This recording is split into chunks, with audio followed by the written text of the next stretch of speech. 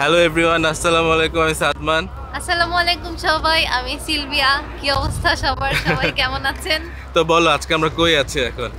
আজকে আমরা এই মুহূর্তে আছি কক্সবাজার। তো আজকে আমরা কক্সবাজারের জনপ্রিয় একটা হোটেল কক্সট্রিটের হোটেলে আজকে থাকব। এই হোটেলটা হলো সুগন্ধা বিচের খুব কাছে সো দেখে এখানে আমাদের আজকে কীরকম এক্সপিরিয়েন্স হয়।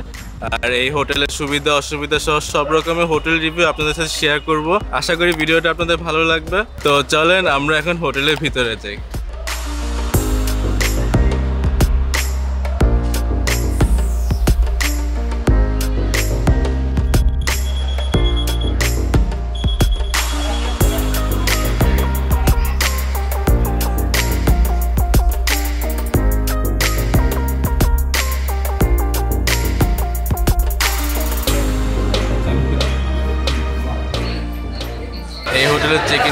ইন দুপুর দুইটার সময়। আমরা একটু আর্লি চলে আসাতে এখন লবিতে ওয়েট করা লাগছে। আর আমাদেরকে ওয়েলকাম ড্রিঙ্কস দিয়ে গেল। কেমন? পেঁপের জুস ভালোই। আমাদের রুম নাম্বার হচ্ছে তো এটা হচ্ছে আমাদের রুম এটা হচ্ছে ডিলাক্স কাপল রুম এই রুমে একটা কিং সাইজ বেড দেওয়া। মোটামুটি ভালোই সব মিলে খুব সুন্দরভাবে ডেকোরেট করা। আর বেডের পাশে একটা টেলিফোন রাখা এই পাশে একটা সোফা রাখা। আর এখানে রেস্টুরেন্টের মেনু।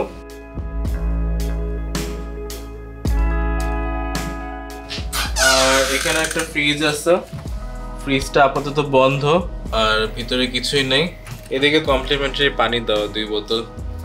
বাট চা কফির ব্যবস্থা নাই আমি কষ্ট পাইছি। অন্যান্য হোটেলে তো চা কফি কিছু একটা থাকে। হ্যাঁ। এখানে জাস্ট পানি আর দুইটা গ্লাস ছাড়া কিছুই নেই। এখানে একটু লাইট কম তাই ক্লিয়ারলি দেখা যাচ্ছে না হয়তো।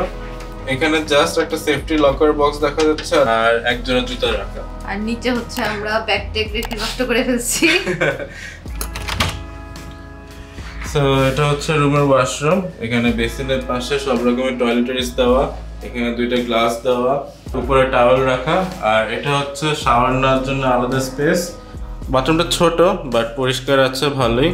কিন্তু ফিটিংসগুলো একটু পুরনো সো এখন আমরা আমাদের রুমের বারান্দাটা দেখব। এই রুমের একটা ভালো দিক হচ্ছে, আমরা এই রুমের সাথে বড় একটা ব্যালকনি পাচ্ছি। ওই যে ওইদিকে হচ্ছে সমুদ্র দেখা যায়। এটার ঠিক সামনে হচ্ছে এই বিল্ডিংটা দিয়ে ঢেকে গেছে বাট দুই পাশে হচ্ছে একটু একটু সি ভিউ দেখা যায়। ক্যামেরায় দেখা যাচ্ছে কিনা জানি না বাট আমরা একটু করে দেখতে পাচ্ছি। আরেকটা সুবিধা হচ্ছে এখানে সুইমিং এর পর বা সাগর থেকে ভিজে আসার পর কাপড় চোপড় এই বারান্দায় শুকানো যাবে। এখানে কাপড় শুকানোর জন্য একটা জিনিস দেওয়া আছে। অনেক হোটেলেই এরকম রুমের সাথে ব্যালকনি থাকে না সো তখন এই দিকটা নিয়ে একটু ঝামেলায় পড়া লাগে। তো এতটুকু সি ভিউ দেখে কি মন ভরে? চলো আমরা সাগরের আসল ঢেউ দেখে আসি কাছ থেকে। চলো। আমরা এখন যাচ্ছি সুইমিং করতে। সুইমিং পুলে যাওয়ার আগে প্রচণ্ড গান শোনা যাচ্ছে সুইমিং পুলের পাশ থেকে। দেখি কীরকম লাগে নিচে গেলে। সুইমিং পুলে এত ভিড়, আমি আগে কখনো দেখি নাই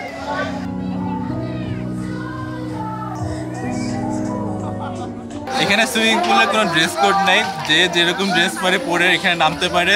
এছাড়াও ভিজা ড্রেস পরে রুমে যাওয়া যায়। সুইমিং পুল থেকে আলাদা একটা সিঁড়ি আছে, যেটা দিয়ে রুম পর্যন্ত যাওয়া যায়। সো ভিজা ড্রেস নিয়ে কোনো চিন্তা নাই।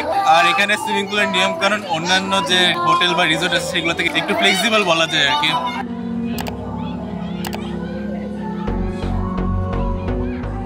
সুইমিং পুলের পানি একটু বেশি ঠান্ডা, কোনো হিট কন্ট্রোল নাই। বাট ওইখানে একটা জাকুজি আছে, ওইটাতে বেশি এনজয় করা যায় বাট ওইটাতে বেশি ভিড়। এছাড়া যদি আপনাদের চেঞ্জিং এর দরকার পড়ে, এখানে আলাদা চেঞ্জিং রুমও আছে। সারাক্ষণই গান বাজতেছে, আল্লাহ যেন এই ভিডিওতে কপিরাইট না খেয়ে যায় আবার তো ওই গানের মধ্যে কথা বলতেছে, গানের মধ্যে সবাই এনজয় করতেছে। এটা এই হোটেলের নিয়ম সুইমিং পুলে সবসময় একটা পার্টি পার্টি ভাব থাকে এই হোটেলে। এখানে যাদের রুম তারা সুইমিং পুল ডিরেক্টলি দেখতে পারে। এখান থেকে গানও শুনতে পারবে সুইমিং পুলে এই জাকুজিটা অনেক বেশি আরামে কুসুম গরম পানির মধ্যে গোসল করতেছে, এরকম ফিল হচ্ছে। এই হোটেলের এই জাকুজিটাই বেস্ট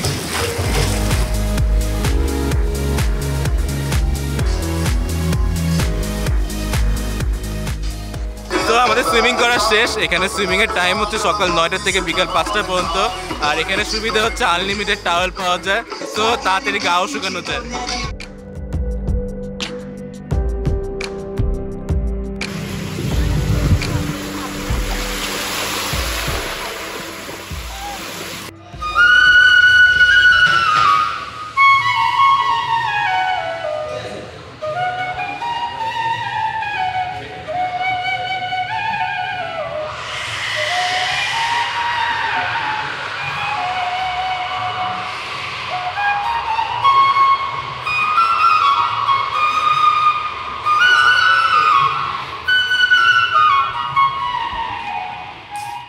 আমাদের হোটেলের সুইমিং পুলের পাশেই পুল সাইড বার্বিকিউর আয়োজন করা হয়। তো আমরা এখানে ডিনার করতে চলে আসলাম। এখানে এসে আমরা মেনু দেখে ওদের তান্দুরি চিকেনের সেট মেনুটা অর্ডার করলাম।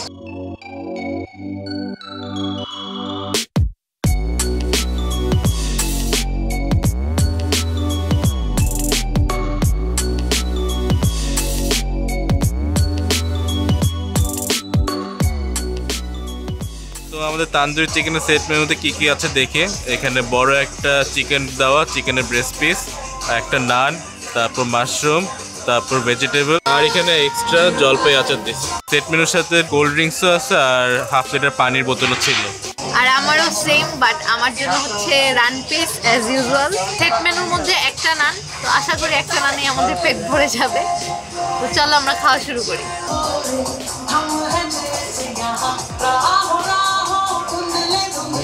স্পেশাল নানটা অনেক সফট আর মাংসটা দেখে তো ভালো লাগছে, কারণ মাংসের মধ্যে অনেক বিবিকিউ সস দিচ্ছে বিবিকিউ সসের লেয়ার পুরো উপর দিয়ে, পুরো চিকেনটাকে আরও টেস্টি করে দিচ্ছে খেয়ে ভালো লাগতেছে প্লাস ওদের এই সালাডটা অনেক ভালো। সালাডটা ড্রেসিংটা একটু অন্যরকম করে করা সালাদের টেস্টটা অনেক ভালো আসতেছে মানে সব মিলে আমার কাছে নান চিকেন আর এই সালাদ মিক্স করে খেতে অনেক ভালো লাগতেছে। খেতে ভালো টেস্ট ভালো, কিন্তু একটা জিনিস আমার কাছে খারাপ হয়েছে সেটা হলো এখানকার মিউজিক সিস্টেমটা এখানে একটু ধুমধারাক্কা টাইপ মিউজিক হচ্ছে। যদি একটু সফট মিউজিক দিত তাহলে পুল সাইডের এনভায়রনমেন্টটা একটু ভালো লাগতো আমার কাছে মনে হচ্ছে। আমার কাছেও সেম হ্যাঁ, মানে বিরক্ত মানে এখানে লাগছে সাউন্ডটা অনেক ক্লাউড আমরা দুইজন যে কথা বলব দুইজনের কথা শুনতে একটু কষ্ট হচ্ছে।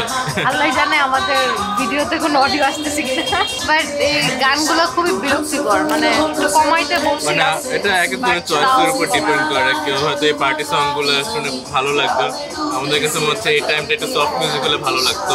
আমাদের দুইজনের টোটাল বিল আসছে টেন পার্সেন্ট ভ্যাট আর টেন পার্সেন্ট সার্ভিস চার্জের পর নশো তেষট্টি টাকা।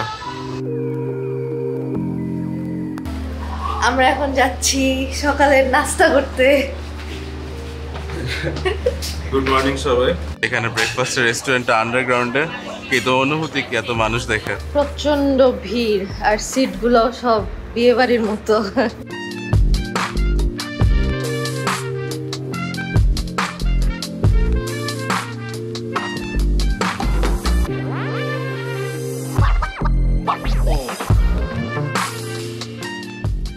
আমরা খাবার নিয়ে আসলাম। এখানে প্রথমে এনেছি খিচুড়ি, পাস্তা, তারপর হচ্ছে ভেজিটেবল বুটের ডাল আর চিকেন কারি এই মোটামুটি মেইন ডিশে এই কয়েকটা আইটেম ছিল। চলে গেছে।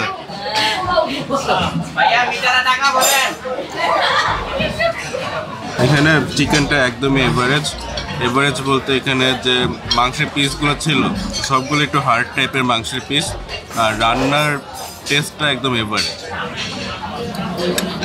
কিন্তু এখানে খিচুড়িটা ভালো রাইসটা অনেকটা ঝরঝরা, আর মুরগির থেকে এটা ডিম দিয়ে খেতে বেশি ভালো লাগতেছে। এখানে খিচুড়ির সাথে সাথে পরোটাও আছে, আর পরোটার সাথে এখানে সুজি আছে, চাইলে এটা দিয়েও পরোটা খাওয়া যায়।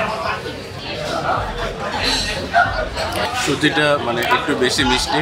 যারা মিষ্টি পছন্দ করেন তাদের কাছে এটা ভালো লাগবে এখানে সুতিটা যেহেতু একটু বেশি মিষ্টি আমার এটা পরোটা দিয়ে খেতে ভালো লাগতেছে। মি- বেশি মিষ্টিটা ব্যালেন্স হয়ে যাচ্ছে। হ্যাঁ ব্যালেন্স হয়ে যাচ্ছে। এখানে ডেজার্ট আইটেমের মধ্যে আছে হচ্ছে দুই রকমের কেক আর ফ্রুটস এর মধ্যে আছে হচ্ছে আপেল আর পেয়ারা আর হচ্ছে কলা। আর জুস আইটেমের মধ্যে আছে শুধু একটা জুস হ্যাঁ শুধু একটাই জুস পেঁপের জুস মানে এই জুসটাই আমাদের ওয়েলকাম ড্রিঙ্কস হিসেবে দিছিল। আর কোনো অপশন নেই আর কি। সবশেষে আমরা কফি নিয়ে আসলাম। এখানে কফি ওয়ান টাইম গ্লাসে সার্ভ করে। দেখি তুমি কফি কীরকম বানাইছো। আহ শান্তি। মজা হয়েছে অনেক। সো আমাদের এখন হোটেল থেকে চেক আউট করার টাইম হয়ে গেছে। এই হোটেলের চেক আউট টাইম হচ্ছে দুপুর বারোটার সময়। আমাদের এখানে এক রাত থাকতে কস্ট পড়ল সাড়ে পাঁচ হাজার টাকা। নর্মালি এই ডিলাক্স কাপল রুমের রেট হচ্ছে সাড়ে আট হাজার টাকা। বাট এক এক সময় এক এক রকম ডিসকাউন্টের উপর বেস করে প্রাইসটা এক এক রকম হতে পারে। সো আপনারা যখন রুম বুক করবেন, তখন সেই সময়ের প্রাইসটা আপনারা ওনাদের কাছ থেকে জেনে নেবেন। আর এই হোটেলে এক রাত থেকে আমাদের যে এক্সপিরিয়েন্স হচ্ছে সেটা খুবই এভারেজ বলা যায়, কারণ একটু আগে আমরা ব্রেকফাস্ট করে আসলাম। আসলে এখানকার ব্রেকফাস্টের অ্যারেঞ্জমেন্টটা আমার কাছে খুব একটা আপ টু দ্য মার্ক লাগেনি, কারণ এখানে সিটিং অ্যারেঞ্জমেন্ট বলেন আর ফুড আইটেমগুলোর কথাই বলেন সব কিছুই খুবই এভারেজ লাগছে আমার কাছে। আর এছাড়া হচ্ছে রুম কোয়ালিটি বা ফুল সাইড যে এনভায়রনমেন্টটা ছিল, এগুলার স্ট্যান্ডার্ডটা আরেকটু ইমপ্রুভ করলে হয়তো ভালো হতো, কারণ ওনারা নিজেরা এখানে হচ্ছে বলছে যে এটা হচ্ছে একটা ফাইভ স্টার স্ট্যান্ডার্ড হোটেল এই জন্য আমরা অন্যান্য যে এই স্ট্যান্ডার্ড হোটেলগুলো আছে সেগুলোর সাথে কম্পেয়ার করে এটা মনে হলো যে ওভারঅল সব কিছু আরেকটু ইমপ্রুভ হলে হয়তো আমাদের আরও বেশি ভালো লাগবে। যাই হোক খারাপ না। আসলে সব মিলে বলা যে মোটামুটি একটা এক্সপিরিয়েন্স ছিল। তো আজকের ভিডিওটা এখানে শেষ করছে। এই নেক্সট কোথাও ঘুরতে গেলে আবার দেখা হবে। সে পর্যন্ত সবাই ভালো থাকবেন সুস্থ থাকবেন। আল্লাহ হাফেজ। আল্লাহ হাফেজ।